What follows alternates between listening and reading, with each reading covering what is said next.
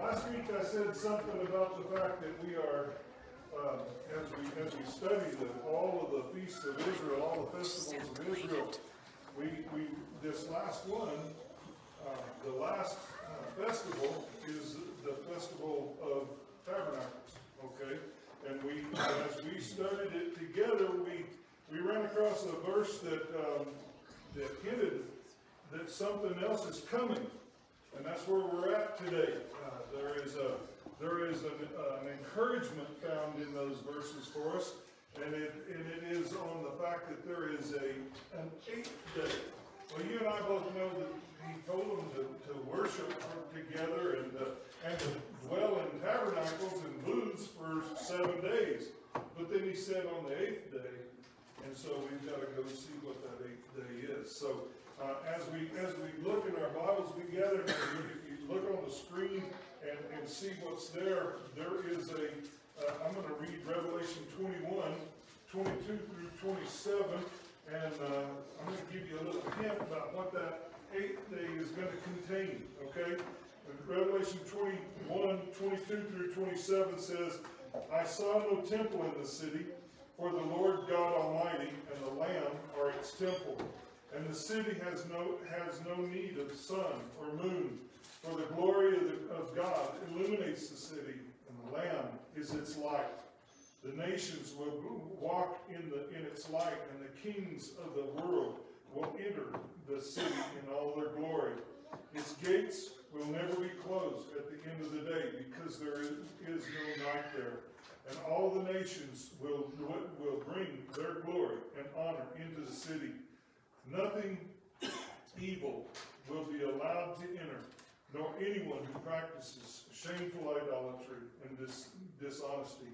And all those whose names are written in the Lamb's book of life, those are the ones that are going to be in the city. So let's just let's just go to the Lord in prayer and say, Lord, we'll be there someday. Heavenly Father, we ask you to be glorified. We ask you to be the one who is uh, who is glorified in all of all of what we say and do, and as we study and as we think, Lord, let us be uh, governed by the Holy Spirit of God to know what things there are that we are, uh, that is still yet ahead of us, something that, that ought to excite us, something that ought to make us to, to, uh, to get ready for the end as it comes, that we would not uh, shun it or be fearful of it, but rather that we would realize that, Lord, in that uh, hidden coming is a, a glorious day. And we ask you to be the one who is controlling our lives and our thoughts today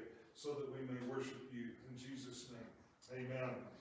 Okay, so we talked about tabernacles and we talked about what it is. And he, he told them, he said that all of God's people would come together and they would dwell in booths. And he says it, believe it or not, three times in that set of verses he says they'll dwell in booths. They'll dwell in booths.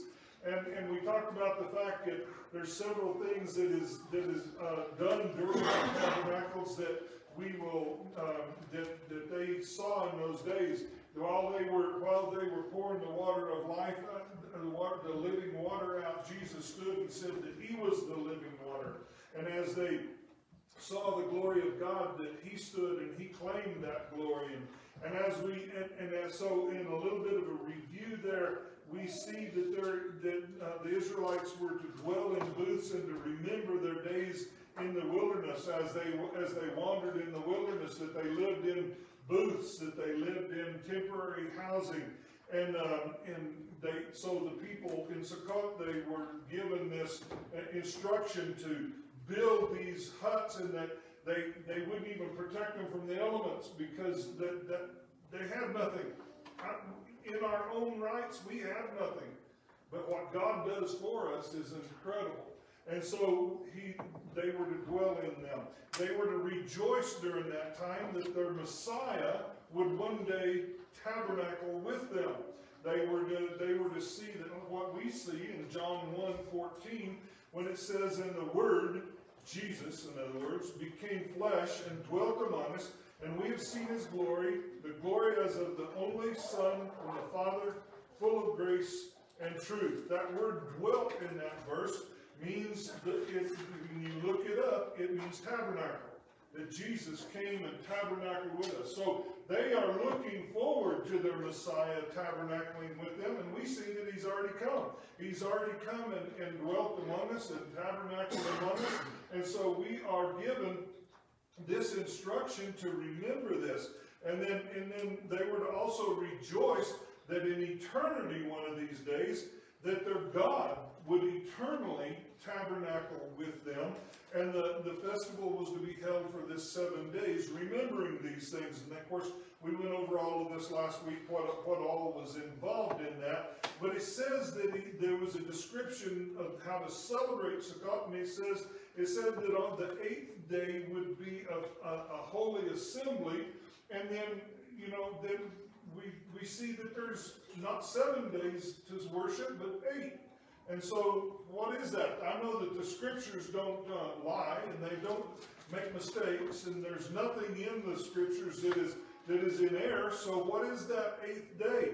Well, I just got this this wild idea that, and I think it's correct, is is that we it ought to focus our minds on the fact that we are coming to a time very soon when we will have a special eighth day a special reminder that it's not just about the completion. Remember, seventh month, the, se- the seventh, and they were to, to worship for seven days, and that all implies uh, a completion of all of that. So we have the whole story of Jesus through the festivals, and all of them line up and give us through them all the entire plan of salvation. And then he brings this eighth day on us and so we ought to worship God for the fact that there's more coming. It's not, we're not done yet. And so, you know, the, the special hidden clue is, is that there's a, a final day of tabernacles, a day that is special to us. And he says, we know that God is going to tabernacle with us in man, with, with mankind in heaven. In other words, that eighth day implies that heaven is eternal. It just keeps going. The, and, and, so let's look at some of the things about that. Revelation 21 3, we've already read it, but he says, And I heard a, a loud voice from the throne saying, Behold, the dwelling place or tabernacle of God is with men. Now, this is future to us yet, still. This is a look at the, the New Jerusalem. It's a, new, a look at heaven.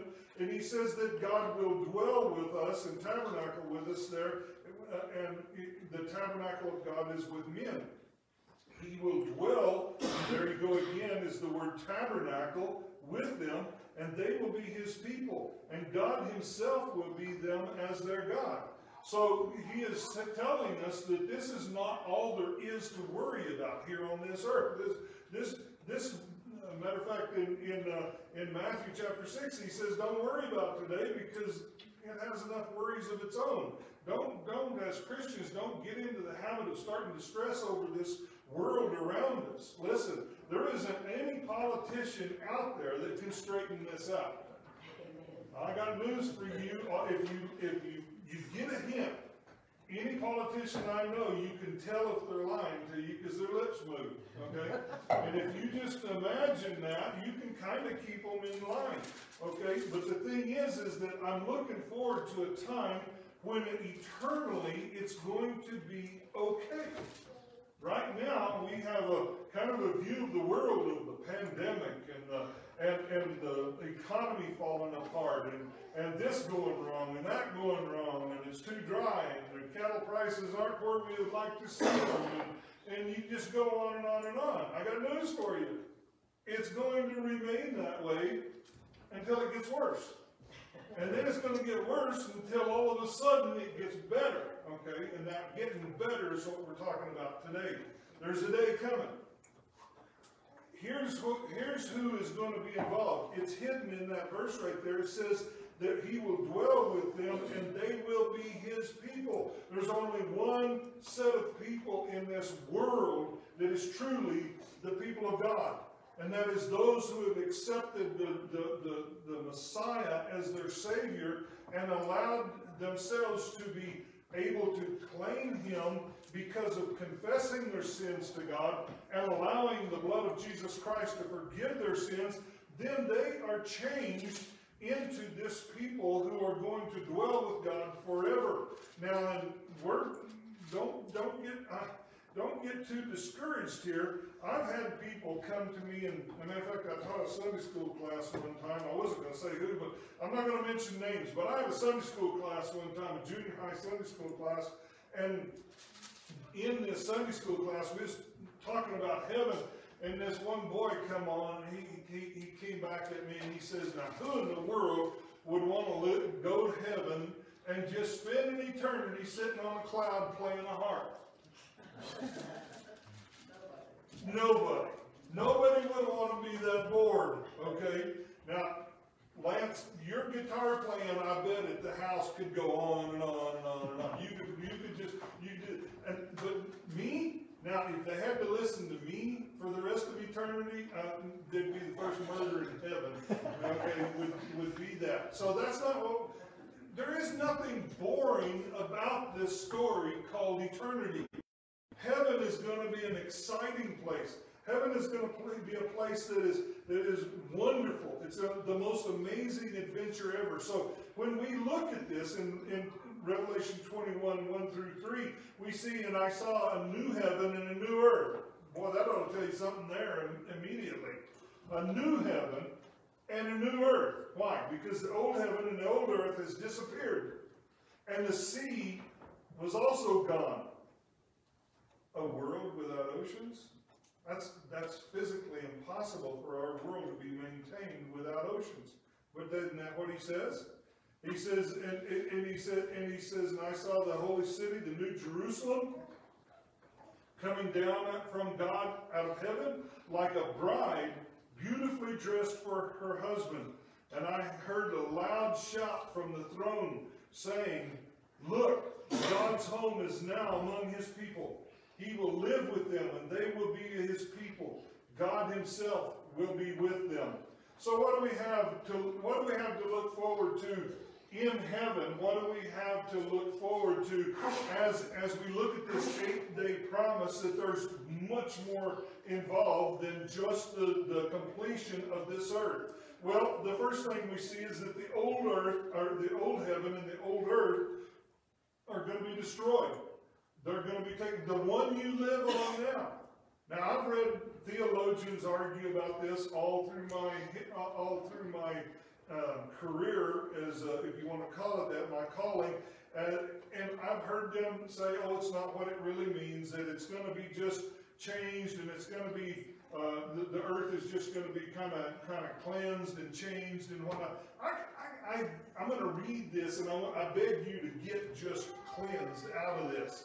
When he says, 2 Peter 3.10, but the day of the Lord will come as a thief, and then the heavens will pass away with a roar, and the heavenly bodies will be burned up and dissolved, and the earth and the works that are done in it will all be exposed. I, I, I have a hard time getting that somehow he's just going to kind of cleanse the, the earth and it's, and it's going to be reused. I, what I see here is it says, as, as it says in, in Revelation 20 and verse 11, and by the way, the scene that it's at here is the great white throne judgment. And if you think of the great white throne judgment being the judgment of all the lost, of all the ages, and they are standing and they're answering to God for their lack of, of belief in the Messiah, Jesus Christ, and it's us who are literally, as saved people, there, but just witnessing it.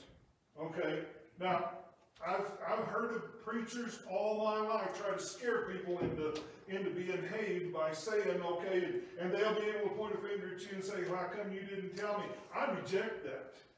Because the only judgment I'm going to go through is not going to be from man. The only judgment I'm going to go through is the judgment seat of Christ, and He's going to hang whatever reward on me that I gain. Not. It's not. When you look at the, the judgment seat of Christ, uh, uh it, it, it was not about a judgment of are you going to heaven, or are you not it's called the Bema seat judgment. And to put it into, into understanding for you, the Bema seat was in the middle of a, well, if you think of the a track running like we run track, only in the Olympics they had a seat in the middle, a raised dais, and at the end of the race, they all gathered around that dais. It's called the bema seat, and they uh, and they handed out from that exalted position. They handed out whatever crown they deserved. Okay, a crown of leaves. Okay, and what, however they ended up that race. Okay, so it's all about reward. It's not about judgment for what you did wrong. So don't be scared, people, about the, the judgment seat of Christ. It's going to be do this, and and he says he says be steadfast, immovable, always abounding in the work of the Lord. That was the instruction to give to Christians. It's not about you losing it and going to hell. You're not going to do that. So, what is this? Well, the, the, the great white throne judgment is just the opposite. The books are going to be open, and he's going to, they're going to, is their name written there? And he's, the angel that is in charge of this is going to say, no. There is no name here in the book of life. And he says, depart from me. I never knew you. Okay? That's going to be a sad, sad thing. We're going to be there. But it's in this setting while this happens that I'm reading this. And he said, during this, evidently, while we are there, I saw a great white throne and him that seated on it, and from his presence the earth and sky fled away, and there was no place found for them. Hmm. Doesn't sound like it's being cleansed to me. It sounds like it's being kaboom, and it's gone. The old heaven, our heaven, the old earth, our earth today, is going to be gone. You say, well, where are we going to be? You're going to be there at the, at the, at the at judgment, at the great white throne judgment, watching while this happens. Okay? So now we got no home to go home to. Wasn't our home anyway, people. My home is in heaven. My home is with God. And this earth is nothing more than a place to sojourn. It's a place to, for us to do the best we can while we can, doing for God what we can, and then we're going to go on and, and be home, okay? So when you look at these and then look at that, then we have to have something that brings in this Revelation 21, 5 and 6. We, we run into this set of verses. He says, uh, what, what was 1 and 2? What did it say? And I saw a new heaven and a new earth. Not the same thing. It's not going to be just one heaven and nothing else. It's a new heaven and a new earth. Important because we're going to come back to that, okay? 5 and 6 says, And I saw, I'm sorry, and the one sitting on the throne said, Look, I am making everything new. Everything is going to be made new. And, he, and then he said to me, Write this down from what I'm telling you is trustworthy and true. And he also said to me, said, It is finished. I am the Alpha and Omega, the beginning and the end. All to all who are thirsty, I will give freely from the springs of the water of life. What did we study last week? What is the water of life? What is the living water? Jesus. Okay, so we have him there too, all right? The new heaven and the new earth will be recreated just like the original earth, and it, will be full, complete, ready for us to explore and to enjoy in its fullness. Can I give you a hint? Go back and study Genesis. Go back and look at what the earth was like in its original. God's going to reset it back to Eden. And it's going to be an earth-sized Eden and I think it was then too, but it's going to be uh, perfect. It's no, can you imagine this? No goat heads? Oh, amen. Yeah, is that good enough right there? I could almost stop preaching right there. No weeds. You plant seed in the ground and it comes up. There's a new thought in life, isn't there? You don't dust it in and wonder if you're going to get your insurance check or not. That's what that's what everybody here does. Okay, so so it's all it's everything everything works the way it's supposed to.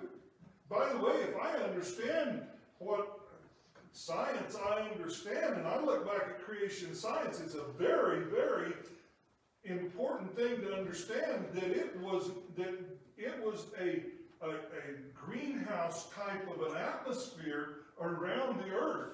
It was perfect. There wasn't there wasn't a lot of radiation and, and everything. Every time I go out and forget to put stuff on my ears, I lose the tops of my ears. The reason that is, is because you don't have that protective layer that was in the original earth. It's, go, it's fallen. It's called the flood.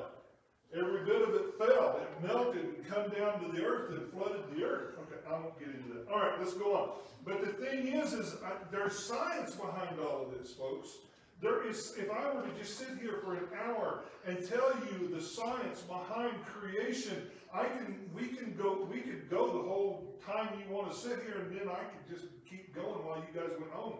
But um, Revelation 21, 5 and 6 gives us an idea that, that there is this, he's going to create this all over again. Jesus is currently in heaven building each of us that place to tabernacle. That's what he said. He said, in my father's house are many mansions. Okay, I'm kind of old school when it comes to that word. He's, some of the, all of the, all of the new Bibles say rooms. I like the word mansions. I'm going to hang on to the word mansions and I, I, you say, well, you may not deserve one. I know I don't deserve it.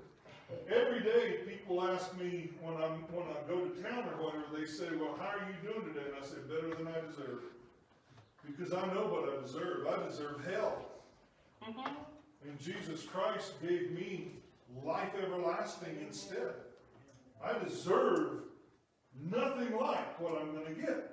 So therefore, I might as well enjoy that mansion. You guys can believe in rooms all you want to. I believe that there's a mansion, you know, that mansion waiting for me. And, and, and in, and in uh, John 14, and, and, uh, and, and, here it is. John 14, 2 and 3 he says, In my Father's house are many mansions. Oh, there it is. Okay. If it were not so, I would have told you, I'd go to prepare a place for you. And if I go and prepare a place for you, I will come again. How long did it take him to create the heavens and earth? He spoke it. What was the pattern? How many days? Seven. Six, six, six, six, six. It's six days he, he, he, he labored, but then the seventh he rested, so I count the whole seven, don't you? Okay, but the, here's the thing. How long should it have taken him if he'd have done it? Nothing. Thought it, and it was all done. So the seven days are important because it's a pattern that we're supposed to see, okay? But here's the thing that we see, if it's been, if it's been that long since Jesus Christ went back and ascended into heaven, Acts 1.11, then how much more wonderful is heaven going to be than what we have now? It's the total removal of death, sorrow, crying, and pain. Man, I like this verse. I like this verse a lot. Verse 3 and 4, he said, He will wipe away every tear from their eyes. You know, I just thought of this. The Bible says that God keeps every tear you have in a bottle. Your tears are important to him because he knows that we shouldn't have had to live like that. This pain and this suffering and, the, and everything that we're going through now, this is all part of the curse of the earth. It has nothing to do with what we deserve, except that because we are of mankind, therefore when Adam sinned and the, he fell from the, that we've all fallen because we've all sinned, okay? And so there, there, Revelation 21, 3 and 4, and he will wipe away every tear from their eyes. Death will be no more, neither will there be mourning, nor crying, nor pain anywhere anymore, for the former things have passed away. So the first thing I can see about the eighth day is, is that it is a total reset of what God wanted it to be originally. The second thing that I see in here is that the New Jerusalem uh, when we look at it, we see in Revelation 21, 9 through 21, a long bit of reading, put up with me. He says, then, every, then one of the eight, seven angels who held the seven bowls containing the seven last plagues came and said to me, come with me and I'll show you the bride. I like the fact that God, God allowed one of those angels pouring out all that junk on the earth. He got, one of them got to come and say, let me show you something cool. Let me show you something that's coming up for you. He says, Come with me and I'll show you the bride, the wife of the Lamb. And he says, he took me in the spirit to a great high mountain, and he showed me the holy city, Jerusalem, descending out of heaven from God. It shone with the glory of God and sparkled like a precious stone, like jasper, as clear as crystal. Can I stop for just a second and say this? This is not the new heaven, and it's not the new earth.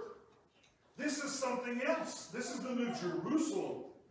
This is the city of God that is coming down and it's setting on the earth. When he says it's like a, a, a clear stone, a precious stone of jasper, clear as crystal, the best description I've ever heard is just think of a diamond. And not, it isn't a diamond, but think of that clear, precious jewel coming out of heaven and, and residing on the earth. The city wall was broad and high with 12 gates guarded by 12 angels, and the names of, of the 12 tribes of Israel were written on the gates, and there were three gates on each side, east, north, south, and west. And the, the wall of the city had 12 foundation stones, and on them were the, written the names of the 12 apostles of the Lamb. The angel who talked with me held in his hand a gold measuring stick with, to measure the city, its gates and its wall. And he, when he measured it, he found that, that it was square, a cube, if you will, as wide as it is long. In, in fact, its length and its width and its height were each 1,400 miles. It sticks up 1,400 miles. It is 1,400 miles wide and it's 1,400 miles long. And it is of the brilliance of a diamond sitting there. And when he measured the walls, he found them to be 216 feet thick. According to the human standard that the angel was using. The wall was made of jasper, and the city was pure gold, as clear as glass. Have you ever, I have a gold ring. Isn't it clear? You know, this is a fake. This is something to remind us that heaven is coming. But the gold on the streets of heaven is transparent. The city is made of a transparent gold as clear as glass. The wall of the city was built on foundation stones inlaid with 12 precious stones. The first was jasper, the second was sapphire. I'm not going to go into what they all look like. Just imagine the most brilliant, beautiful things you could see, okay, you, that you could imagine. The third was agate, the fourth was emerald, the fifth onyx, the sixth was a car carnelian, the seventh was chrysolite, the eighth beryl, the ninth topaz, the tenth chrysoprase, the, the eleventh jacinth, and the twelfth amethyst. And the twelve gates were all of each gate from a single. That's some. And the gate and the main street was pure gold as clear as glass. Are you getting this picture in your mind? Only God can do this, is what it means. Only God can make something that beautiful. A lot of people want to say, oh yeah, yeah, that's, that's, it's just, you know, a pretty, pretty speech. No, it's not. This is the future. What was the eighth day all about? It was about looking forward and seeing this is where we are going to be. The walls of transparent gold, the foundations uh, of, of the 12 precious stones, the gates of 12 pearls, that's all what we have looking forward to being able to be there. Your, your duties are going to be to, to be on the earth during the millennium period that we are going to be uh, uh, ministers of the King of Kings. As, as Jesus sits on the throne, we are going to be active doing his bidding. Can I tell you this? Get ready. Whatever God has you learning to do here is probably what you're going to get to do the rest of the time. Okay? The rest of eternity, He's gonna take the finest of what you are talented at and gifted at, and he's going to use it. And A lot of people tell me, oh, I don't know what that's gonna be, I don't have no imagination. Mark it down, God knows what it is. You won't be bored, you'll be doing what delights your heart to the fullest degree. Just imagine that. You wanna know what your gifts are, basically? Number one, just imagine what you do naturally whenever you gravitate to what you like to do. Number two, what people tell you you're good at. And what I tell you the third one was? I can't remember. Anyway, you get all of those and you just think of it just being natural. I was, I was telling Jimmy Gale earlier. But the, the whole thing, when we get to looking at our lives, we are going to be doing what thrills our heart the most. What do you enjoy doing the most? That's what it was. And you add those three together and you kind of make a triangle out of it, and right in the middle is where your gift is. You're gifted to do something by the Holy Spirit of God, and when you get there, that's what you're going to be doing. So what about the temple? Are we going to have to have a temple in heaven? No. Revelation 21, 22 through 27 says, And I saw no temple in the city, for the, uh, the Lord God Almighty and the Lamb are its temple. And the city has no need of sun or moon, for the glory of God illuminates the city, and the Lamb is its light. The nations will walk in its light, and the kingdom in the of, of kingdom kings of the world will enter the city in all their glory. Its gates will never be closed to the end of, at the end of the day because there is no night there. And all the nations will bring their glory and honor into the city. Nothing evil will be allowed to enter, and no one, not anyone, who practices shameful idolatry or dishonesty but only those names that are written in the Lamb's Book of Life. Those are going to be the ones that are there. So what do we come down to? Well, first of all, we see here there is no sun and moon. Because there's no need of light because we're going to be living with the light of the world. We're going to be living in, in that place where the where God's light permeates everything all around. And we're going to be bringing in a, a, the verses I read earlier said that we will bring our glory that we have in with it too. What is that? Well, because of the glory of God, he, he looked at us and he said that he is the light of the world. And then he looked at us and he said, you are the light of the world. Christian, you're going to bring part of that light in there. It's just going to be this, this great big place of, of, of wonder, okay? And the Almighty God and the Lamb of the temple are the one, they are the temple of God. You're not going to need a building. You're going to have God Himself and the Lamb of God Himself. And you're going to worship in that temple that is God Himself.